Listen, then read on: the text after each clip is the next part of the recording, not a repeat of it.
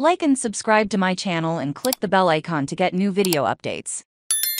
Netflix schedule April 10 to 16. New series and movies on Wednesday, April 12. The streaming service will add American Manhunt, the Boston Marathon bombing to its available content. Directed by Floyd Russ, the three-part documentary focuses on the tragic events of the 2013 Boston Marathon. Patriots Day in Boston is a time for celebration. Spring is in the air, the Red Sox are playing in Fenway, and the whole city turns out to cheer on the Boston Marathon's journey from the suburbs to downtown. Two domestic terrorists bombed the marathon finish line in 2013 the biggest party of the year exploded in carnage, and as law enforcement launched an unprecedented investigation into the identity of the killers, their pursuit spread to the streets of formerly quiet neighborhoods, crippling the city, and captured our world after September 11, 2001, compiling an up-to-the-minute retelling of the manhunt from thousands of hours of video surveillance, police radio and cell phone footage, and testimony from cops. FBI agents, and ordinary citizens whose exploits led to the killer's grab, offering historical context,